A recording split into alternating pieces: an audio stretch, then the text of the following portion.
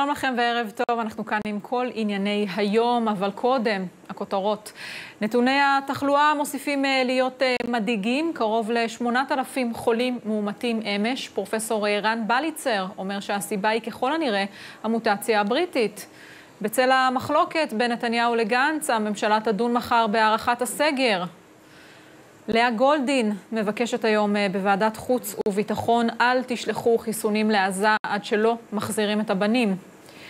יום השואה הבינלאומי, עשרות ניצולי שואה דורשים מהממשלה לפעול לקבלת דמי השילומים החסרים. וגם, הלילה יהיה סוער וגשום. קובי פינקלר שלנו עלה לחרמון ופגש את יחידת מפלסי השלגים שהתמודדו שם עם כמויות השלגים הגדולות. אבל אנחנו אה, פותחים עם עדכוני הבריאות, ונמצא איתנו עכשיו על אה, קו הטלפון רן רזניק, פרשן הבריאות של ישראל היום. שלום וערב טוב. שלום, ערב טוב ליטל. שוב קרוב ל-8,000 uh, מאומתים ביממה. למה המספרים מסרבים לרדת למרות הסגר והחיסונים המואצים? אוקיי, אני אתן לך כמה תשובות אפשריות שמדברים עליהן במשרד הבריאות. ראשית, ראשית, המוטציה הבריטית ש... לא רק בישראל אלא גם בבריטניה ובעצם במרבית העולם מאיצה, מרחיבה ומגדילה מאוד את ההידבקויות, או אם תרצי, בעצם מאיצה את המגפה, נכון? את מגפת הקורונה, כן. וזאת סיבה מרכזית. סיבה שנייה, הסגר, שאנחנו קוראים לו מהודק, כי הוא בטח הרבה יותר מהודק מהחלק הראשון שלו שהיה, אה, אה, לא היה באמת סגר. גם הוא לא מאוד מהודק, הוא הרבה פחות מהודק ממה שהיה כאן בסגר הראשון, הוא הרבה פחות מהודק ממה שקורה כשיש סגר בהרבה מדינות בעולם.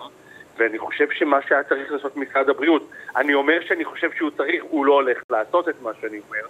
כן. מה שמשרד הבריאות היה צריך זה לא רק ליטל לבקש עוד שבוע סגר, ולמעשה משרד הבריאות עצמו יודע שצריך לפחות עוד שבועיים, אלא לבקש גם להדק אותו או להחמיר אותו. אז אני חושב ששתי הסיבות האלה ביחד גורמות לזה שהנתונים, אה, ש, שהמגפה לא, לא שוכחת, אה, דועכת, אה, קטנה. כן. כשאומר היום, ו- אגב, ו- גם פרופסור רן בליצר, שככל הנראה לא רואים ירידה בתחלואה בגלל המוטציה הבריטית, כמו שאמרת. כן, כן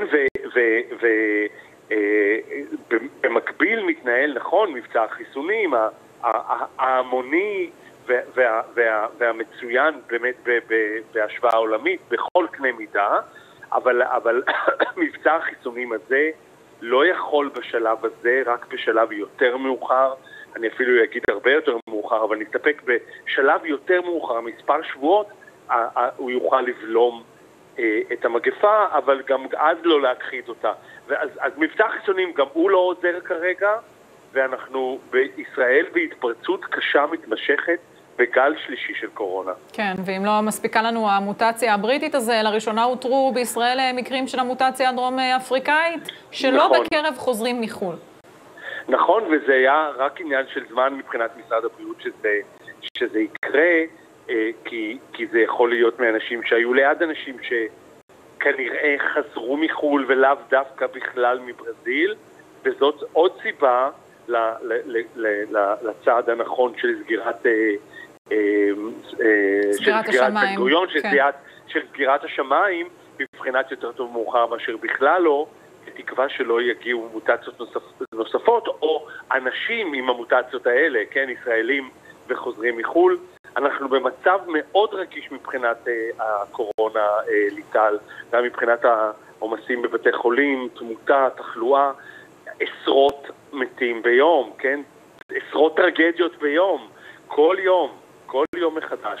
כן. זה המצב היום בישראל. בהחלט, אה, בהחלט עצוב, ובמשרד הבריאות יכולים לפחות אה, להתנחם בעובדה שיש אה, למעלה מ-200 אלף מתחסנים ביום. נכון, אתה יודע אולי נכון. מתי יפתחו את החיסונים למתחת לגיל 35, 30 בחלק מקופות החולים? לא, לא, וקשה לדעת מתי זה יקרה, כי עדיין יש חלקים גדולים באוכלוסייה שלא התחסנו מעל גילאי 35 בגילאים הנוכחיים. אה, במקביל רוצים גם לחסן, נכון, את כיתות י"א-י"ב, 16-18. אני לא יודע מתי יפתחו את זה בצורה רשמית והמונית, וגם יש עכשיו זמנית, מאוד זמנית, האטה במספר החיסונים החדשים שפייזר שולחת לעולם כולו, לא רק לישראל, אז זה ייקח עוד זמן, אבל נראה לי שזה באמת במהרה בימינו. רן רזניק, פרשן הבריאות של ישראל היום, תודה רבה לך. תודה. תודה, ליטל. ערב טוב. כן, אז כאמור, בצל המחלוקת בין נתניהו לגנץ, הממשלה תדון מחר בהארכת הסגר. הלל ביטון רוזן, כתבנו, שלום, ערב טוב. שלום. כאמור, הסגר במתכונתו הנוכחית אמור לפוג ביום ראשון. כן, אז כרגע לפחות את כלל התקנות הכנסת אישרה, ממש ברגעים אלה עד ליום ראשון בחצות, וכרגע נותרה המחלוקת למעשה, כחול לבן. מנצלת את מעמדה בממשלה, ולמעשה היא כרגע דורשת העלאת הקנסות באופן מיידי, בנוסף אפילו להטלת צווי סגירה על מוסדות החינוך החרדיים, או כל מוסד חינוכי אחר שיבחר לפתוח ולהפר את הסגר. כרגע מפלגת הליכוד מעדיפה להיות איפשהו, מה שנקרא, בצד, והיא אומרת, אנחנו תומכים בהעלאת הקנסות. בסופו של דבר, אם החרדים וכחול לבן יצליחו להגיע ביניהם לעמק השווה, אנחנו נתמוך בכל מתווה כזה. Mm-hmm. מה שברור כרגע זה שצו השעה הוא הארכת הסגר. אין איש מקצוע במדינת ישראל שעיניו בראשו, שלא מבין שכרגע צריך להאריך, וכבר ברור מקצה לקצה שהסגר יוארך בעוד שבוע לפחות. אם בסופו של דבר השיקולים הפוליטיים הם אלה שיכריעו כנגדו, אני חושב שזאת תהיה טעות פוליטית קשה. גם לכחול לבן, וודאי למפלגות החרדיות, אם לא יצליחו להגיע ביניהם לעמק השווה. כן, ואם הזכרת באמת עניינים פוליטיים, שבוע לסגירת הרשימות, מה קורה שם בציונות הדתית? האם יהיו חיבורים באופק? כן, אז באמת אתמול בשעת לילה, איתמר בן גביר, ראש עוצמה יהודית, מצייץ בטוויטר, ובעצם מתייג גם את בצלאל סמוטריץ', היום למעשה ככה דברים פוליטיים יכולים גם להתחיל. אני מזמין אותך בעצם להיפגש, מסכמים, ושאר הדברים. מקורביו של סמוטריץ', כך בציונות הדתית, אומרים לנו, תפסיקו לדחוף לנו את איתמר בן גביר. בסופו של דבר, אנחנו רוצים ללכת בדרך עצמאית, אנחנו מספיק חזקים.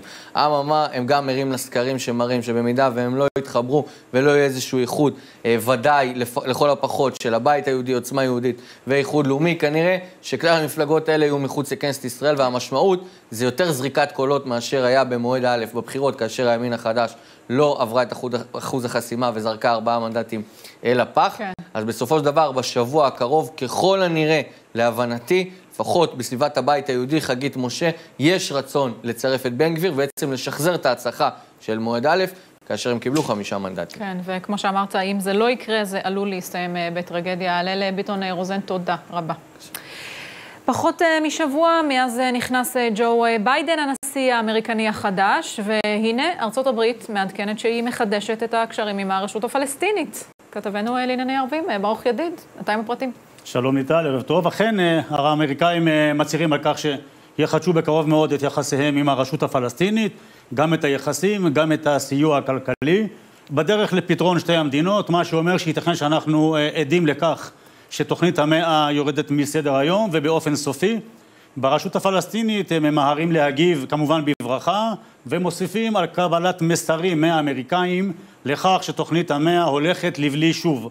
ריצ'רד מילס הוא סגן השגריר האמריקאי למועצת הביטחון, אומר אתמול במהלך אחת הישיבות כי הוא מפציר בשני הצדדים, הישראלים והפלסטינים כאחד, mm-hmm. שלא לנקוט בצעדים חד צדדיים כאלו שיהפכו את פתרון שתי המדינות לבלתי אפשרי או למסובך יותר. אנחנו עוד חשבנו שיש לנו עוד קצת זמן, שהאמריקנים יתעסקו בעניינים שלהם, והנה אנחנו מגלים שהם צוללים פנימה לתוך הקרחת המזרח-תיכונית. אמת, אנחנו נספר מיד על מערכת היחסים שנרקמה בין הפלסטינים לבין האמריקאים, ממש ביום שבו נודעו, בלילה, שבו נודעו התוצאות בין, בבחירות בארצות הברית. בואו נקשיב לדברים שאומר ריצ'רד מילס, ולאחר מכן נדבר על התגובה הפלסטינית. בבקשה. The United States will urge Israel's government and the Palestinian Authority to avoid unilateral steps that make a two state solution more difficult, such as annexation of territory, settlement activity, demolitions, incitement to violence, and providing compensation for individuals imprisoned for acts of terrorism. The Biden administration will restore credible U.S. engagement with Palestinians as well as Israelis. This will involve renewing U.S. relations with the Palestinian leadership and Palestinian people, relations which have atrophied over the last four years. President Biden has been clear in his intent to restore U.S. assistance programs that support economic development and humanitarian aid for the Palestinian people, and to take steps to reopen diplomatic missions that were closed by the last U.S. administration. כן, מעניין אם הם מעודכנים שהיה פה ניסיון פיגוע רק אתמול. נכון, כאשר הוא מדבר על משימות דיפלומטיות, הכוונה היא לחידוש פתיחתו מחדש של משרד אש"ף בוושינגטון.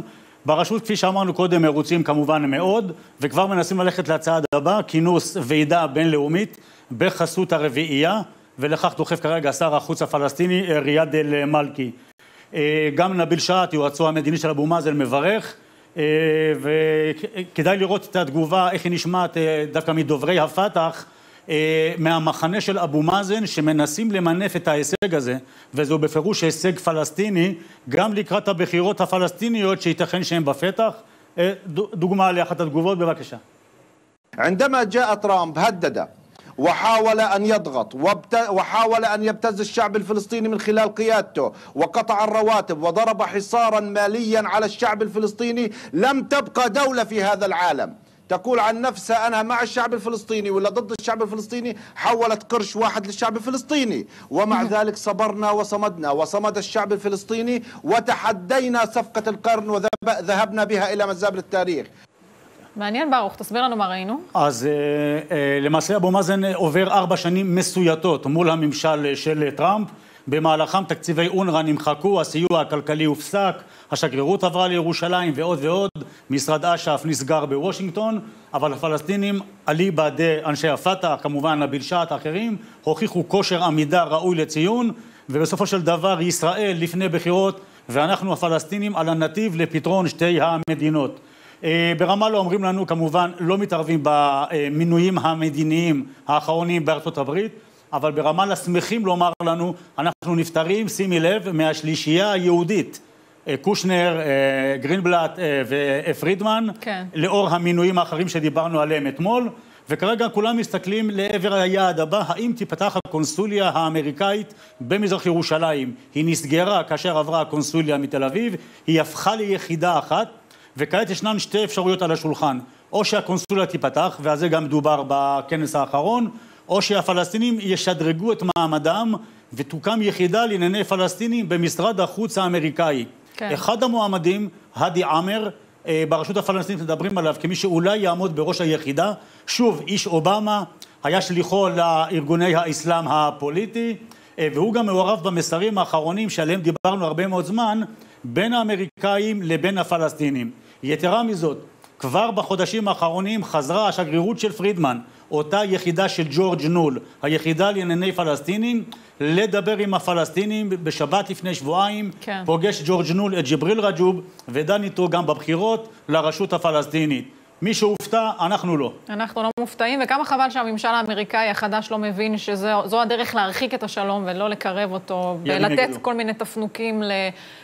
ישות שעדיין מממנת טרוריסטים. ברוך ידיד, תודה רבה. בבקשה. תודה. לעניין הבא, לאחר שמשפחת גולדין עתרה לבג"ץ בדרישה למנוע את מעבר החיסונים, חיסוני הקורונה לעזה, דנה היום ועדת חוץ וביטחון בכנסת בנושא. לאה גולדין דיברה שם בגרון חנוק. הנה. משימה אדירה שאני מוכן לקחת על עצמי, וזה כנראה מהסיבה שמהשנייה שנולדתי העברתם לי את המשימה הזו בתוכי, בזכותכם. אני הולך לרדת עכשיו מהקרון, כמו הרבה יהודים כמוני. הם צעדו בדרכם האחרונה, ובמותם על קידוש השם, או בהישרדותם בקידוש החיים. אני צועד מפה בדרך שהורו לי לצמוח מהעפר. רציתי להגיד לכם שאני אוהב אתכם מעומק הלב, ואולי אני לא אומר את זה תמיד, אבל הלב, הלב שלי אומר את זה תמיד. ואני מקווה שהמעשים שלי, שאני עושה, יצליחו להגיד לכם כמה אני אוהב אתכם בכל הפעמים שאני לא אומר. אוהב אתכם, שלכם הדר. צור גולדין, שלום, ערב טוב. שלום, ערב טוב. לא קל לראות את הקטע הזה של אימא שלך בוכה היום שם בוועדה. כן, זה לא קל. רק מתקן, האירוע הוא היה אירוע מאוד מאוד חשוב, אה, ואני חושב ששווה גם להסתכל עליו אה, כאירוע היסטורי, שבו אפשר ללמוד על איך מערכת ומדינה מתפכחים משיטה כושלת אחת, ומבינים שמשהו פה מעוות מאוד, ומתחילים להגיע להכרה שמשהו צריך להתנהל אחרת. אימא שלי ספציפית גם דיברה בהקשר של יום השואה הבינלאומי שמציינים נכון, היום. נכון. אה, ועל המשמעות והאמון שחיילים אה, צריכים אה, לראות במערכת שמובילה אותם לשדה הקרב. אז כשאתה מדבר על התפכחות, צור, למה אתה מתכוון? אנחנו פנינו היום לוועדת חוץ וביטחון בתפקידה כמבקרת תפקוד הממשלה בכל מה שקשור להשבת השבויים והנעדרים הביתה, השבויים שנמצאים בעזה, ואנחנו טענו שמדינת ישראל בשש וחצי השנים האחרונות מאז צוק איתן מבצעת מדיניות של השארת הבנים מאחור, אה, ובעצם דרשנו מהוועדה ומהכנסת להפעיל את כוחה כדי לדרוש אה, מידע מהמדינה על כל הפרויקטים שמתבצעים לרצועה ללא תמורה, וביניהם אה, העברת חיסונים, הקמת צינור גז, הקמת פרויקטים אה, של הייטק, עסקיים, ובצדק תשתיות. רב, ובצדק כאילו רב יש, לנו... יש לומר, אה, הדרישה הזו מגיעה אה, במקום, כן. אה, והנתון הכי חשוב ועיקרי, שמשום מה אנחנו לא מקבלים אותו כבר אה, יותר משנה וחצי, זה מספר מחבלי חמאס ששוחררו מהכלא הישראלי לעזה אה, בשנים האחרונות, אה, ללא השבת הבנים. ואתם מגישים את הפנייה הזו ואתם מקבלים את הנתונים שביקשתם? אה, זה פעם ראשונה, נתון מזעזע, פעם ראשונה אחרי שש וחצי שנים שוועדה ראתה לנכון לכנס דיון מיוחד בנושא, אחרי שדרשנו uh, שהדיון הזה יתקיים. Uh, אני חושב שהשיא של האירוע היה כשאבא שלי הקריא שמות של מחבלי חמאס ששוחררו מהכלא הישראלי לעזה ושבו לפעילות טרור, ביניהם סמג"דים בכוחות שנמצאים ברחבי עזה, אה, אנשים שהיו מעורבים בהעברת, אה, אה, בשיגורי טילים. כן. ואני חושב שהדגש הכי מרכזי שאמרנו לוועדה שמשהו כאן מעוות, וההתנהלות שבהשבת השבויים והנעדרים כל כך גרועה, כי העסקה שכולם מפחדים ממנה להשבת השבויים או השבת מחבלים כבר בוצעה, המדינה משחררת ברשלנות בוטה עשרות ומאות, אנחנו יודעים בוודאות על מספר שמעל 100 מחבלים עם שמות, כן. אבל ברור לנו שזה גם משיחות משרי ביטחון קודמים ששוחררו הרבה יותר. ואם אנחנו, אה, ואם אנחנו מדברים... ללא הפעלת אה, מנגנון חוק הלב"חים. כן. ואם באמת, אה, צור, אנחנו מדברים עכשיו על הבעיה המאוד קשה של הקורונה, אנחנו יודעים שהממשלה באיזשהו מקום מסתייגת מהעובדה שהיא העבירה חיסונים לפלסטינים. מה המצב לגבי, לגבי עזה? הצלחתם לקבל אנחנו... איזושהי הבטחה שזה לא יקרה? זה מצחיק, כי אנחנו כבר במרץ 2020, תחילת הקורונה, היה לנו דיון נרחב על, על העברת מנשמים לחמאס. אה, ודיברנו על חשיבות אה, ניצול ההזדמנות של משבר הקורונה כדי לייצר פתרון הומניטרי לשני הצדדים. אה, בדרישה ובקריאות מצוקה אדירות, אגב, מצד חמאס ומצד העזתים. ממשלת ישראל הבטיחה לנו והבטיחה לנו, וחדשות לבקרים אנחנו מגלים שמשוחרר, אה, שמדינת ישראל בעצם נותנת את כל מה שצריך לחמאס, כן. תחת איומי הטילים שלו.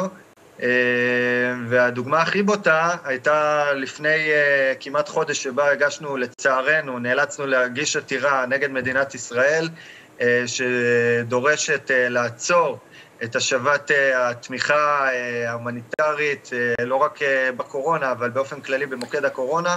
המדינה הודיעה, הפרקליטות הודיעה מטעם המדינה שמדינת ישראל לא מתכוונת להעביר חיסונים לרשות הפלסטינית ולעזה, ושבוע אחרי זה עדכנה שהממשלה דווקא כן מעבירה חיסונים גם לרשות הפלסטינית, בשבוע האחרון גילינו שגם לעזה. קריסת מערכות מוחלטת, והיום, והיום בוועדה, היום, בו, היום בוועדה, צור, כשהשמעתם קול זעקה, הצלחתם לקבל איזושהי הבטחה, uh, איזושהי uh, אמירה נחרצת ממישהו מחברי הכנסת ש, שישב שם? אנחנו קיבלנו, קודם כל, חשוב לציין, זה אירוע קשה. זה אירוע שמאוד מאוד לא קל לחוות אותו, ובטח גם להאמין שהוא באמת קורה. אני לא מאמין שאני עדיין מדבר על אירועים כאלה.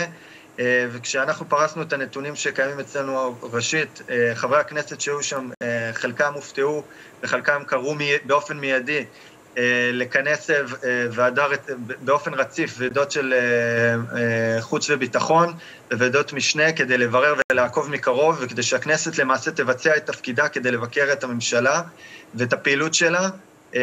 אני כן. מתחרט להגיד שבשנת 2021, ככה הציניות וקריסת המערכות הערכית אה, היא חלק, מ, אה, היא, היא חלה על, אה, על חיילי צה"ל ועל מוסדות הביטחון.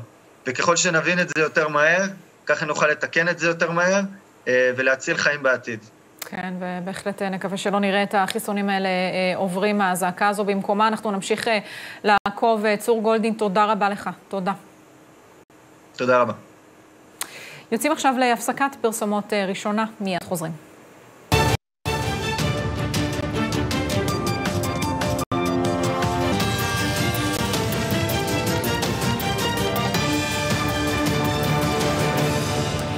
חזרנו על רקע האירועים האחרונים אה, בבני ברק ושיח ההסתה והשנאה נגד הציבור החרדי. החליטה תושבת אה, תקוע לארגן משלוח ירקות אה, מחקלאים בדרום הארץ עבור תושבי בני ברק. שלום ריקי לויט. ריקי, את איתנו על קו כן. הטלפון. שלום, ערב כן, טוב. כן, ערב טוב. ספרי לי על היוזמה הזו של משלוחי החקלאות לתושבי בני ברק. טוב, האמת שהעניין של החקלאות זה רק התירוץ, אבל המניע האמיתי והחזק היה אחרי שראיתי את ההתנהלות של המשטרה לפני מספר ימים ברחובות בני ברק, ולא יכולתי להישאר אדישה. חשבתי שאין אבסורד גדול מזה להעניש בצורה קולקטיבית ציבור שלם, ציבור שבעיניי ובעיני רבים הוא איכותי, אנשים אה, עם ערכים, עם איכויות, עם מסירות נפש, ולתת להם כזה יחס, להיכנס עם רימונים, עם אלות, אלות, בלי הבחנה, זה פשוט, הדעת לא יכלה לסבול ולא, וגם הלב לא, וחשבתי איך אפשר לעשות משהו הפוך על הפוך ולתת לאנשים היקרים האלה לגיטימציה והכרה ולהרים את המורל שלהם וזה הוביל אותי לרעיון הזה שלשמחתי נענה בחיוב. מי שפניתי, החל מבחור בשם אסף ביאזי שרצה מיד את המשאית שלו וארגן לי נהג, דרך מגדלים ששמחו כל כך לשתף פעולה ורצו לתת הרבה יותר ממה שיכולנו להכיל. אה, בבני ברק הרימו את הכפפה וניסו לסייע לי בכל דרך. מדהים. מדהים, וצריך, וצריך גם להגיד, ריקי, ששיח השנאה הזה לא מגיע רק מכיוון העימותים עם המשטרה, אלא אנחנו רואים אותו גם אה, בתקשורת, גם מפוליטיקאים כאלה ואחרים שנוח להם אולי אה, להתנגח בעת הזו בציבור החרדי. בהחלט, ואת יודעת, מה שכל כך... אה, אני לא, אני לא רוצה להשתמש במילים קשות, אבל כולנו יודעים שלא מדובר על ציבור. שלם. מדובר פה על אחוז קטן של אה, אנשים שהם בשוליים, שהם לא משקפים כהוא זה את החברה הזאת. והענישה הקולקטיבית הזאת והדמוניזציה שעשו לעיר שלמה של מעל 150 אלף תושבים. כן, כשאנחנו, כש, כשאנחנו זוכרים אגב איך רק ב, ב, בתחילת אה, מגפת הקורונה ראינו את חיילי פיקוד העורף נכנסים לשם, עובדים בשיתוף פעולה מלא, נכון, עוסקים בהסברה, עוסקים נכון, בחיבור, עוסקים בחיבורים. נכון. אה, היה שיתוף פעולה באמת מקסים. נכון, לגמרי, אני מאוד מסכימה איתך. למה, את יודעת, זה, זה כזה פספוס, אפשר להידבר, יש עם מי להידבר. מדובר על אה, אנשים שבאמת ביסוד שלהם הם אנשים טובים שמכוונים לערכים גבוהים ואפשר לשתף פעולה. למה ללכת בגישה לגמרי. כל כך שלילית? לגמרי, ו- וטוב שיש אה, יוזמות כמו, כמו היוזמה שלך, אה, שמחברת בין, בין הקצוות בעם הזה. איך היו התגובות שם בבני ברק, שהגעתם עם המשאיות האלו עמוסות כל הטוב? כן, קודם כל אני מקווה שזו הסנונית הראשונה ושזה ייתן אה, עוד רעיונות לאנשים. העיר הזאת עברה טראומה, טראומה קשה. אני לא חושבת שהמנהיגים מסוגלים להבין עד כמה הסיפור הזה זה נקודת ציון ביחסים מול החברה הזאת. אז אני מקווה שיהיו עכשיו חוויות מתקנות.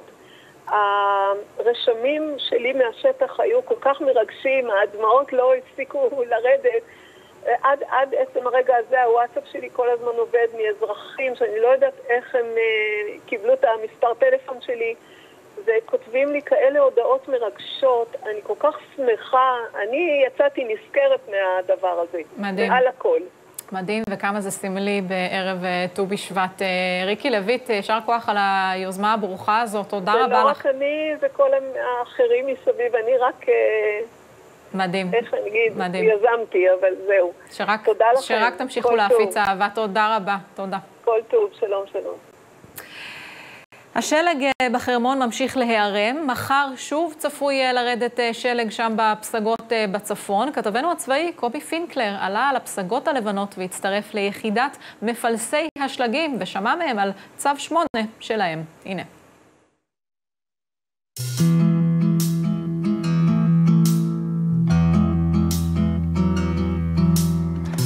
שלג בחרמון, שלג בהרי הגולן, אז אתם שומעים את זה בבית, לא יכולים להגיע לכאן כי יש סגר, אבל יש אנשים שחייבים להגיע לכאן, דווקא בשעת הסדר, הסגר, דווקא בשעה שכל עם ישראל ספון בביתו, ואנשים נעצרים בכבישים, הם עולים לכאן לרמת הגולן, כדי לפלס את הדרך למוצבים של צה"ל שנמצאים כאן, גם במפלס התחתון, במילים המקובלות, גם במפלס העליון, וגם במקומות שלא, זה המקום והזמן לדבר עליהם. שניים מהם כאן איתנו, מי הראשון?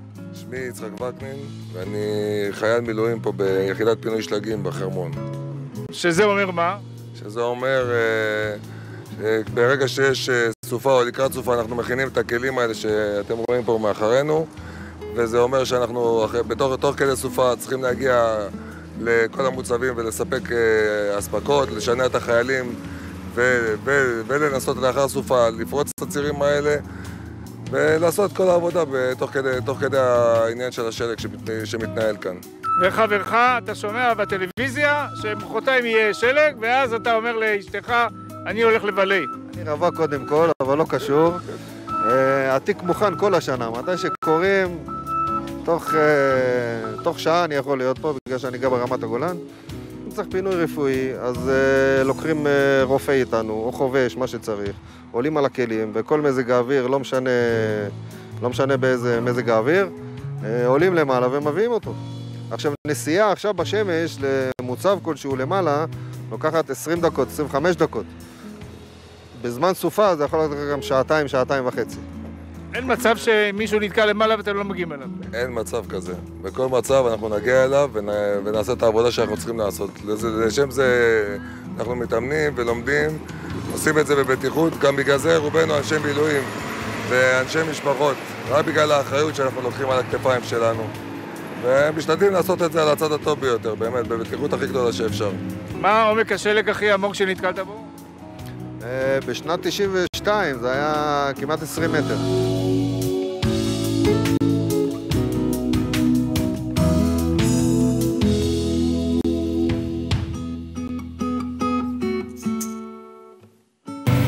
שנקרא ביבי, מי שנוסע כמו שאתה רואה על השלג.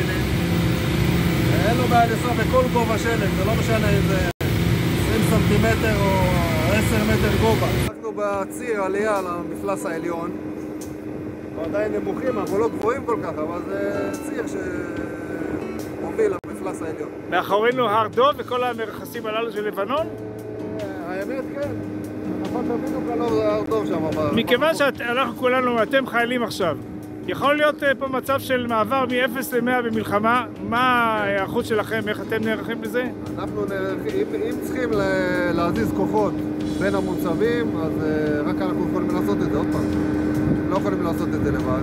יש כמובן את אה, יחידת האלפיניסטים, שהם עובדים איתנו ביחד גם כן, שהם אה, הם אחראים על הפעילות המבצעית בין, המבצע, בין המוצבים כביכול, במרחב.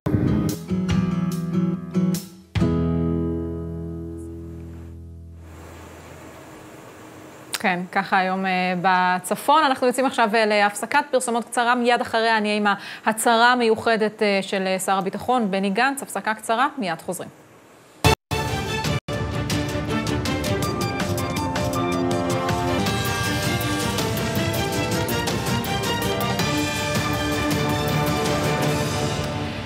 חזרנו, יצחק בלפר מיתומי קורצ'אק, שהקדיש את חייו ויצירתו להנצחת יאנוש קורצ'אק, הלך השבוע לעולמו. מצטרפת אלינו הילה תימור אשור, במאית ומחברת הספר הקשה של הלחם. שלום, ערב טוב. הילה? אני אוקיי. איתכם. את שומעת אותי? כן, כן, אני איתכם. שומעים אותי? אוקיי. כן, כן, אנחנו שומעים אותך, אז אני רוצה באמת אה, לשאול אותך, אנחנו מציינים היום את יום השואה הבינלאומי, ואת אה, ליווית את אה, יצחק אה, בלפר אה, לפני כשנה. בואי נראה קטע. קורצ'אק היה רופא ילדים. ושהוא גם רופא ילדים. אז אני בחרתי לצייר רופא ילדים את קורצ'אק. אז הנה קורצ'אק. כן, מה תוכלי, אה, הילה, לספר לנו על אה, יצחק?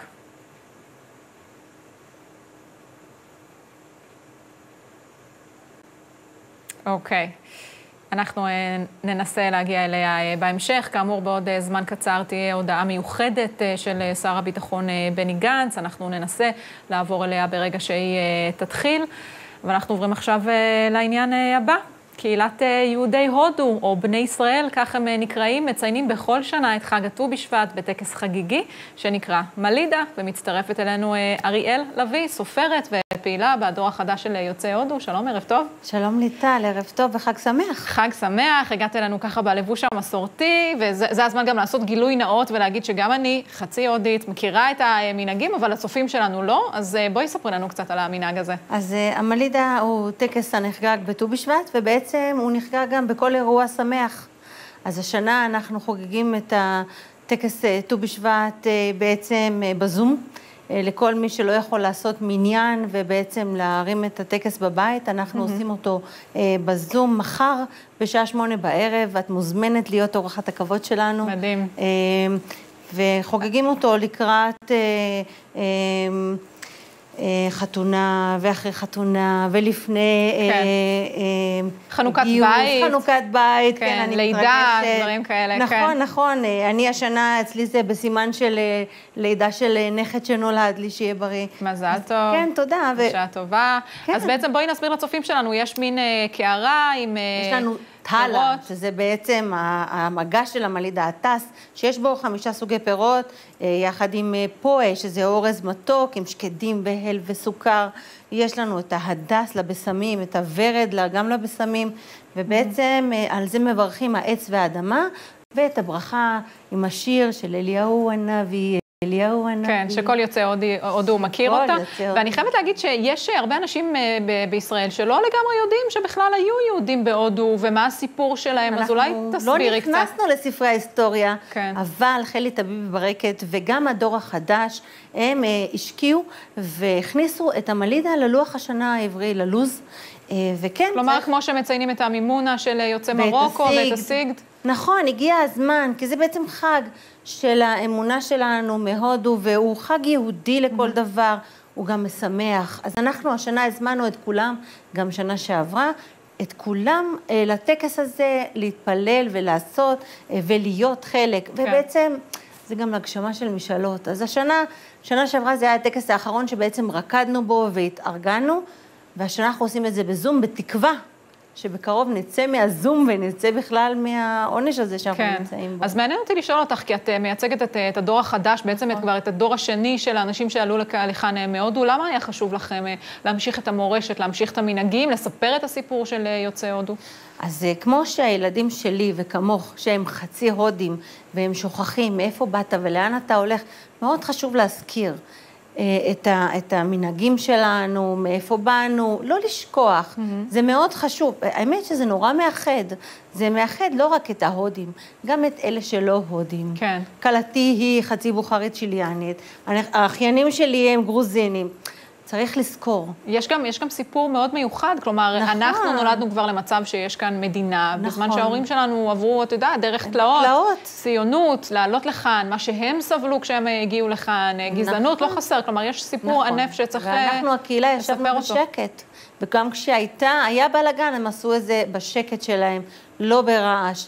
הקהילה שלנו היא קהילה שכולם מכירים אותה כהקהילה הנחמדה, עם האוכל הטעים והכול, אבל לא באמת יודעים מה עברנו. נכון. אבל יום אחד באמת אני מקווה שכל ילד שנולד לקהילה, ובכלל ידעו מתי ההודים, אה, היהודים עלו לארץ, מה קרה להם בהודו, איך הם בכלל הגיעו להודו. הייתה פה גזענות מאוד גדולה, צריך מאוד, לומר, או אבל גזענות עדיין יש. שמזכירה גם את הגזענות שהייתה כלפי העיראקים שעלו לכאן והמרוקאים, כלומר, לגמרי. מבחינת אה, האליטה הלבנה, מה שנקרא, אה, אה, כל מי שעלה לכאן והיה אה, טיפה שחום, טיפה מגיע מהודו, מעיראק, נכון. אבל הוא- הנה, היום הוא היה צריך להוכיח ממש את היהדות שלו, היה מקום מאוד ספציפי שיהודים אה, יוצאי הודו יכלו להתחתן בו, שלחו אותם לדימונה, היה פה סיפור מאוד לא פשוט. נכון, למעברות.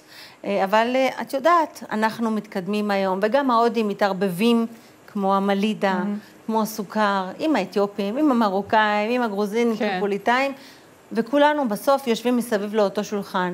ומה שחשוב בעצם, שתהיה פה ערבות הדדית, ושבעצם הקהילה, הקהילה ועם ישראל ידעו שכולנו אחד. זה מה שמאחד אותנו כן. בעצם. בסופו של דבר זה עניין של אוכל, זה יהודי, את יודעת. כן. אז אה, טוב, כן, ולהודים גם יש את האוכל הכי טעים, זה אין מה לעשות. אנחנו אני לא- שמעתי ש- אמנם אנחנו לא אובייקטיביות, אבל זה האוכל הכי אני רוצה טעים, להגיד אין מה לך שהדור לעשות. החדש הוציא את החוברת הזאת, כן. ואילנה שזור באופן אישי ביקשה ממני לתת לך את זה מתנה. אה, מדהים, תודה. גם שמרית ו- וצור וישראל ו... מדהים, תודה כולם, רבה. כולם, זה באהבה בשבילך. את חושבת שתצאי מפה עם רק להביא לי חוברת? את גם משאירה לי. כוס ביציאה של? הזה, אני מה זאת אומרת? באהבה. אה, אז ספרי אה, אולי במשפט גם לצופים אה, איזה ברכות אה, עושים אה, בסדר. ט"ו בשבט הזה? קודם כל, יש את הברכות של העץ והאדמה, וגם אה, את ה... אה, המברכים על המזונות, על הבשמים, ויש את הברכה בעצם שהאימא, כשהיא שמה את האורז בתוך התהלה, היא מברכת ומבקשת בשקט את הברכה למען המשפחה שלה והילדים. אה, אני, אה, אני, אני חושבת שכל אחד שבעצם אוכל מזה הוא מבורך. אה, ומעבר לזה, יש גם את הברכה הזו של אליהו הנביא, כי אליהו הנביא מאוד חיזק את העם שלנו הוא בהודו. גם דמות, אה, דמות מאוד הוא מרכזית ב- מאוד מרכזית, נכון. בכל בית שורשי, את תראי את התמונה הזאת של אליהו הנביא, נכון. עם הכרכרה שהוא עלה השמיימה. אליהו הנביא דמות מאוד מרכזית אה, בקהילה שלנו. ואת יודעת מה, יש עד היום, אני חושבת שהוא ככה מופיע ו... ונותן לנו את המסרים. כן, אז כל הכבוד לכם שאתם ממשיכים עם המסורת הכל כך אה, חשובה הזו, שיהיה חג שמח. אריאל אה, לביא, תודה, תודה רבה. באהבה, מה גם מתאים. לי לחולצה הפרחונית. נכון. תראו, בול. אני. אשאיר לך בחוץ. תודה רבה, שיהיה לנו חג ט"ו בשבט שמח. שמח, ותצטרפו אלינו מחר בזום בשמונה בערב. יאללה. איך מוצאים אתכם בפייסבוק? הדור החדש. הדור החדש. תודה רבה לך, תודה. להתראות. אנחנו uh, ממשיכים uh, לעניין uh, הבא, היום מציינים ברחבי העולם את יום השואה הבינלאומי, ועשרות ניצולי שואה דורשים מהממשלה לפעול לקבלת דמי השילומים החסרים. שלום לשמוליק עצמון. הלו, כן, שמוליק, אתה שומע אותי? עכשיו אני שומע, קודם לא שמעתי. יופי, יופי. אז למעשה ישראל אה, תובעת אה, כספי אה, שילומים מהחלק הגרמני שהיה תחת השלטון הסובייטי. בואו ננסה להסביר לנו. אני לא חושב שישראל תובעת. אם ישראל הייתה תובעת, לא היינו צריכים להתערב לזה. כן. הבעיה היא שישראל לא תובעת, ולכן אנחנו פנינו ועשינו את המבצע הזה כדי לעורר את הממשלה שתתבע את מה שמגיע לנו. אז בוא תסביר לנו אה, למה בעצם לא, יש דמי שילומים חסרים. תדברי יותר לאט ויותר בקול רם, בטח, יהודי בן 91 יוכל גם לשמוע אותך. בטח. הטלוויזיה הישראלית והדברים שלהם מדברים כל כך מהר וכל כך בשקט שאנחנו, אה, שמתקשים בשמיעה, לא יכולים לעקוב אחריהם. מבחינתי, מבחינתי אתה עוד צעיר. מבחינתי אתה עוד צעיר. אבל, אה, אבל אני צעיר ברוחי, אבל לא צעיר בגופי. רק אריכות ימים, אבל תוכל להסביר לי אה, למה לא תבעו אה, את השילומים האלה, או איפה הבעיה? אני לא יכול להסביר את הסיבה למה, אני רק יכול לזעוק ולצעוק למה לא. כי כשאנחנו השתחררנו ועברנו את כל המקומות איפה שנעשו הדברים האיומים, ראינו רשום על הקירות, זכרו אותנו ותנקמו. אז לזכור אנחנו מנסים לעשות, והנקמה שלנו לא תהיה נקמה פיזית, אבל תהיה נקמה רוחנית, אם אנחנו נצליח. נצליח בצורה אנושית לתת לאנשים להמשיך את חייהם ולא להגיע למצב ש-50 אלף איש במדינת ישראל מתחת לעוני, אלה שסבלו בשואה. אנחנו לא היינו, לא היינו צריכים להגיע לזה, והכסף הזה יכול להשתמש לדברים האלו. כן. מדינת ישראל מנהלת פוליטיקה, ובגלל בעיות פוליטיות כנראה לא דרשו את הדבר הזה. ולכן אנחנו פונים כדי להפעיל את השכל ולהפעיל את הלב, כדי שאותם מיליארדים יגיעו לארץ וישמשו לנו ל... להטיב כלכלית את המצב של אלה שזקוקים לזה, ורוחנית לאלה שזקוקים לזה. כן. כי ב, ב, בכספים האלו ניתן להציל דבר אחד שהוא היה נשמת העם היהודי לפני השואה, וזאת התרבות היהודית, שביניהן גם שפות יהודיות, כמו יידיש, לדינו, ושפת היהודים המזרחיים, והשפות המזרח תיכוניות, כן. יהודים שדיברו שפה שלהם בערבית עם, מעורבת עם עברית, אנחנו רוצים לשמר את זה בשביל הדורות הבאים. ברור. אז כשבאים לממשלה מדברים על זה, אז אנחנו בצד. כן, אתה... והנה אתה... יש כספים שמתגלגלים, צריך רק לדעת להרים אותם. כן, צריך אתה, אני רוצה לשאול אותך, שמוליק, להיכנס למאבק. אני רוצה לשאול אותך, שמוליק, שמעת על ההסכם שנחתם היום בין ישראל ללוקסמבורג? אה, על... אה, שמעתי, מה אתה שמעתי, חושב על ואני רוצה ההסכם הזה? להגיד לך שהתפוצצתי בתוכי. ואני למה? רוצה, טוב שאת הזכרת את הדבר הזה. אני רוצה שיקחו דוגמה מהגויים, מה שהם עושים למען זיכרון היהודים. והיהודים, מה שלא עשו בתחילת הדרך. בתחילת שאנחנו הגענו לכאן, עד 53, עד שנחתם, ה- נחתם ה- ה- ה- אני יכול להגיד פה דבר שאני יודע אותו, כאשר אדנאואר שאל את בן גוריון, או את שרת, אני לא בטוח מי מהם, מה עם האומנות של היהודים? אז אמרו לא להזכיר לא את היידיש, לא את הלדינו. אנחנו לא, לא, לא מקבלים פיצויים על הדבר הזה. כן, אז, אז אולי נספר לצופים שלנו שנחתם אה, היום הסכם בין ישראל ללוקסמבורג. לוקסמבורג, אחת המדינות היחידות, אה, בין המדינות היחידות באירופה שלא שילמו פיצויים אה, לניצולי השואה, והיום נחתם הסכם, אגב, בניצוחו של דונלד טראמפ, שעבד על ההסכם הזה חודשים אחורה. היום נחתם הסכם עם, עם לוקסמבורג, אולי איזושהי טיפה בים. הבעיה היא שבעניין הפיצויים, אנחנו גם התפצלנו. מדינת ישראל לקחה על עצמה את המנה הגדולה והשאירה בשביל העולם הבא לוועידת התביעות, והייתה תמיד מלחמה בין, בין הכסף שמגיע למדינת ישראל ושלקחו את האפוטרופסות עלינו. את יודעת ששופטת בית המשפט העליון לשעבר, זיכרונה לברכה, דורנר, הייתה בראש ועדה שהוכיחה שכל אחד משרידי השואה, אני לא אוהב את הביטוי ניצול השואה, כי אף אחד לא הציל אותנו. אנחנו שרדנו, ומי שהציל אותנו לא היו שישה מיליון יהודים. אז אה, כן. היא, היא, היא קבעה שכל אחד מאלה שהגיעו עד 53, מדינת ישראל רוששה אותם במיליון שש מאות אלף ש"ח. זאת הייתה התרומה של אלה שבאו אחרי, אחרי השואה ובאו לבנות את המדינה ולהילחם למענה. נכון. נכון מאוד. שמוליק עצמון, הזעקה שלך... הזמן, ואני פונה פה, ב... קודם כן. כל אני רוצה להביע כמה דברים טובים לאנשים שנמצאים איתי יחד ועובדים, קודם כל בראש ובראשונה לעורך דין גדעון גלעד שר, שעשה עבודה יוצאת מהכלל והביא כן. אותנו סוף סוף שנביא את זה בפני בית המשפט העליון. ולילי הבר, כן. ואת דוקטור אהרון מור, את ידידי כן. יהודה גיל, ויש פה רשימה של עשרים איש שפונים לדבר הזה, שחתומים על זה. כן, לא אזכיר את כולם כדי לא לקחת כן, שמוליק, זמן. שמוליק עצמון, אנחנו איתך, אנחנו איתך במאבק, אנחנו... מהממשלה של עכשיו, ברור. או הממשלה הבאה, ויש לי הצעה לחברי, לחב... לכל אותם רצים עכשיו לבחירות, כן. תכניסו את הסעיף הזה ל, ל, ל, למצע, למצע שלכם, כן, נכון. תקבלו הרבה הרבה שרידי שואה שיצביעו כן. בשביל הדבר הזה. שמוליק זה עצמון. מגיע לא לנו, זה מגיע לדורות הבאים. ברור. כי אנחנו את שלנו עשינו. אנחנו רוצים אנחנו, להבטיח אנחנו את לגמרי הזיכרון. איתך, אנחנו לגמרי איתך במאבק הזה. שמוליק עצמון, תודה רבה לך. תודה, תודה. אנחנו איתך. תודה.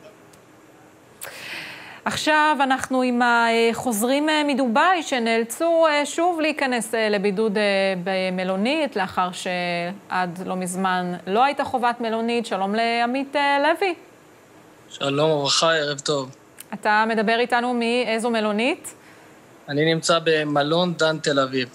איך הרגשת כשהבנת שאתה לא יכול להיות בבידוד ביתי ותיאלץ להיכנס למלונית?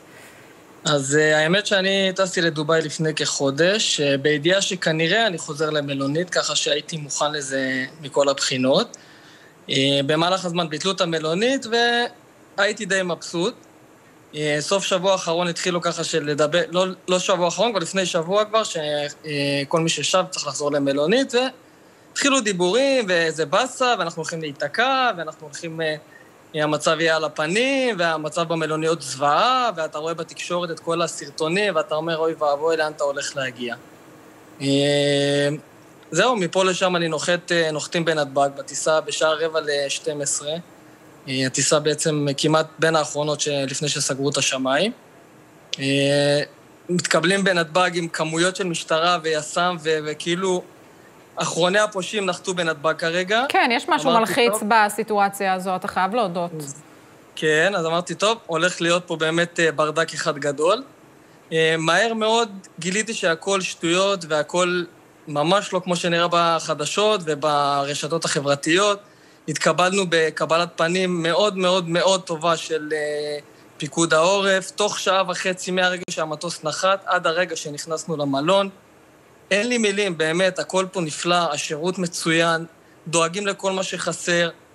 אין, אין לי, הכל יעיל, הכל מתוקתק, חסר משהו, אתה מתקשר לקבלה, תוך עשר דקות זה מגיע, אחרי עוד עשר דקות מתקשרים לוודא שזה הגיע. כן. צוות המלון מעל ומעבר, אני מניחה אבל, ש... אני מניחה אבל עמית שאתה יכול להבין את, ה... את הלחץ שאנשים נכנסים אליו ברגע שכופים עליהם בידוד במלונית, כשהם היו... לפעמים אנשים שגרים לבד, אין איתם עוד אנשים בבית, היו מעדיפים להעביר את הבידוד הזה בבית, בבית שלהם. לא כופים על אף אחד שום דבר. בן אדם שטס לחו"ל בשעת מלחמה, מבחינתי כרגע זה שעת מלחמה, בן אדם שטס להנאות שלו בחו"ל, צריך לקחת את זה בחשבון, והוא כן. לא יכול לבוא בתלונות לאף אחד. אני בקשר, טיילו איתי אנשים מכל העולם, אנשים חוזרים לבידוד, תוך, תוך 48 שעות מהרגע שלפני יומיים, לא משנה, נכנס חוק בלונדון, שמי שחוזר למדינה חייב לשהות בבידוד במלונות על חשבונו. וואו. מישהי שהייתה איתי, אני חייבת לעלות על מטוס תוך 24 שעות, אם לא, אני הולכת לשלם אלפי דולרים וואו. על שהייה במלונית. אז באמת אין פה שום מקום לתלונות, אין פה שום, המדינה דואגת מעל ומעבר, פיקוד העורף עושה מעל ומעבר, אני לא מבין את המקום שאנשים מתלוננים ובוכים. כן. מבחינתי זה הישראלי המכוער, לא זה שגונב מגבות מהמלונות בדובאי, זה לדבר וללכלך על ביבי, על החיסונים. אנחנו, אנשים מדברים ש... בעוד חצי שנה אולי יתחילו לחסן במקומות שהם גרים. פה במדינת ישראל כבר כמעט שתי מיליון תושבים התחסנו. נכון. כאילו, איפה זה ואיפה מה שמדברים, ו... למעלה משני מיליון, פה- כן, למעלה משני מיליון. אני, אני, מעניין אותי, מעניין אותי, כן, מעניין אותי לשאול אותך, כי אמרת שאתה אה, לפני חודש טסת לדובאי, למה החלטת להאריך את השהייה? בגלל הסגרים כאן אה, בארץ? זהו, שאני טסתי לשבוע, וברגע שהתחילו לדבר על סגרים, הבנתי שמה רע לי בדובאי, חוף, ים, אנשים, חבר'ה, חלום, באמת, היה חופשה חלומית, היה איך מטורף. התרשמת ו- מהמקום, מהאנשים? ספר למי שעוד לא היה שם. דובאי, אין, אין, אין, אין חלום, באמת, אין אגדות כאלה, קבלת פנים, כל מקום שאתה הולך ואתה אומר שאתה מישראל, עוד שנייה מנשקים לך את הידיים ואת הרגליים, כל כך מתרגשים לראות את הישראלים. באמת חשוב רק שאנשים שנוסעים ישאירו אה, רושם טוב ולא ככה אה, יקלקלו את השם, ובאמת יעד מומלץ, חלום, המון פוטנציאל, כיף גדול, ממליץ לכולם לנסוע. אה, ועוד דבר, אני רוצה להגיד בהקשר של פה, של המלוניות, אני יצא לדבר פה עם מישהו מפיקוד העורף, הבן אדם חצי שנה, בן אדם בן למעלה מחמישים, קוראים לו אסף ינובסקי, הוא אחראי על כמה מלוניות של אה, קורונה וכולי, הבן כן. אדם חצי שנה לא בבית, בגלל עמית, שאנשים... אה, עמית לוי, אני נאלצת לקטוע אותך, כי שר הביטחון בני גנץ התחיל לדבר עכשיו, אז אנחנו נודה לך מאוד שיעבור לך בקלות שם השהייה במלונית. בואו נעבור לדברים של בני גנץ. מגפת הפילוג המתעצם בתוכנו. גם בימים רגילים, רוב תלמידי ישראל מתחנכים לפי זרמים, רוב אזרחי ישראל עובדים במקומות שונים וחיים בערים או בשכונות נפרדות. ישראל איננה עוד מדינת רוב חילוני מסורתי עם מיעוטים, אלא מדינת המורכבת מקבוצות קבוצות, פלגים ושבטים. במציאות כזו ברור שמשרד החינוך אינו מסוגל לקיים לימודי ליבה במוסדות חרדיים או לאכוף את סגירתם בתקופת סגר. במציאות כזו ברור שהמשטרה לא יכולה לעצור את מגפת האלימות הגואה ביישובים הערביים ולייצר חוק וסדר. הגיע הזמן להפסיק להדחיק. הימים האלו של קורונה מציגים לנו את המציאות חדה, חלקה, כואבת וברורה. ישראל חייבת אחדות. במדינת ישראל של 2021 למעלה מ-50% מהצעירים אינם מתגייסים לצה"ל. אלו בדיוק אותם הצעירים שחיים בערים שמוסדות הלימוד נשארים פתוחים בקורונה ומספרם הולך ועולה. אלו בדיוק אותם הצעירים הערבים שביישובים, שביישובים שלהם אין תשתיות ויש פשיעה ברחובות. אלה בדיוק אותם צעירים שמרגישים פראיירים ושלמעלה מעשרה אחוז מהם מקבלים פטור רפואי משירות בצבא. רבותיי, השירות הצבאי נפגע, החברה הישראלית נקרעת. חייבים להיות מאוחדים בשירות. פעמיים הסכמתי לבקש דחייה בחוק הגיוס על מנת להשלים חוק ומתווה שירות ולמצוא שותפים בממשלה להעבירו. למעלה מעשור שנתניהו בשלטון והמצב רק הלך והחריף. קיוויתי שנוכל להגיע להסכמות, להעביר חוק גיוס כגישור ולהתחיל לעבוד במסגרת של מתווה גיוס שישרת את צה"ל ומדינת ישראל ב-70 השנים הבאות. ולא כזה שמסתכל רק על 70 השנה, 70 השנים שחלפו. זה לא קרה. אנחנו נמצאים כבר שנתיים בבחירות ואף אחד לא יודע מתי תורכב ממשלת קבע. חייבים לפעול. החברה הישראלית משנה את פניה וצה"ל כבר הפך מצבא העם לצבא חצי העם. המשרתים, המשרתים והקרביים הפכו לפראיירים. יש שמשרתים ויש כאלו שמשתמטים. ביטחון ישראל בסכנה, עתיד ישראל הכלכלי, האזרחי והחברתי מוטלים על הכף. מה שאנחנו רואים בקורונה, הכאוס הזה, הוא רק הפתיחה. לכן עדכנתי את היועץ המשפטי לממשלה שביום ראשון הקרוב אין בכוונתי כשר ביטחון לבקש ארכה בעתירה על חוק הגיוס מבלי שיאושר מתווה השירות בממשלה. אני לא אאשר עוד דחייה של הנושא החשוב הזה. צריך להפסיק ולדחות את הקץ ולהציל את החברה הישראלית, את הכלכלה הישראלית ואת ביטחון ישראל. צריך לחזק את חוסן ישראל. אני יודע מה תגידו, אך זוהי לא גחמת בחירות, אלא המשכו של תהליך סדור. בחודשים האחרונים, בהובלתו של השר מיכאל ביטון וצוות מקצועי שריכז במערכת הביטחון וביחד עם צה"ל ועוד משרדי ממשלה, הכנו מתווי שירות מאוזן, רציונלי ומדורג. מתווה שיוצא מנקודת הנחה שכל אזרח צריך לתרום, שכל אזרח חשוב, שכל אזרח יכול. מתווה שהוכן בין היתר על רקע קביעת בג"ץ כי מצופה שלא תתבקשנה הערכות נוספות. יש צורך לאומי, יש סמכות לביטחון ויש הנחיה של בג"ץ. צריך להתחיל בתהליך ולהקים את התשתית הנדרשת. אז איך זה יעבוד? בתוך כשנה תוקם מנהלת שירות משותפת אזרחית וצבאית. המנהלת תבצע את הפנייה ואת המיון הראשוני לכל צעיר וצעירה וצעיר בישראל, כשצורכי צה"ל יקבלו את הבכורה. צה"ל יבחר מתוך השנתון את החיילים הדרושים למשימותיו כראשון בין שווים. שאר המשרתים יופנו למסלול שירות אלטרנטיבי, ביטחוני, אזרחי או קהילתי, שיופעלו על ידי גורמים אזרחיים בלבד. כך למשל חרדים יוכלו להתנדב בארגוני חסד, דבר שהוא ערך עליון בחברה החרדית, ולרכוש מקצוע בארגוני הצלה, בריאות ורווחה. אזרחים ערבים יוכלו להחזיר לקהילה או לפתח בה את החינוך ולסייע במלחמה בפשיעה. כל אחד יתרום שנתיים למען האחדות, כל אחד ישרת שנתיים למען החברה. אותן זכויות, אותן חובות. צה"ל כבר החל להיערך לרפורמה הזו שבמסגרתה גם יושהה קיצור השירות. יהיה עלינו להבטיח את כשירותו המבצעית והתפקודית של צה"ל. משרתים בתפקידים מקצועיים יזכו לתגמולים כספיים ואחרים, להכשרות וללימודים, ולצד זאת יידרשו גם לזמן שירות מעט יותר ארוך מהשנתיים שיהיו הסטנדרט. כל משרת בשירות הצבאי או האזרחי יקבל הכשרה מקצועית שתסייע לו להשתלב בשוק התעסוקה. וגיל הפטור לחרדים ירד ל-22, כך שעשרות אלפים יוכלו לצאת ולעבוד, כך לתרום לכלכלת ישראל, כך נאפשר לה לצמוח בעידן שאחרי הקורונה, כך נביא אחדות בשירות. בסיום שנת ההקמה תחל תקופת מעבר של שש עד שמונה שנים, שבה ייפתחו מדי שנה כחמשת אלפים תפקידים אזרחיים נוספים בשירותי הביטחון, ההצלה החינוך. לא נכון.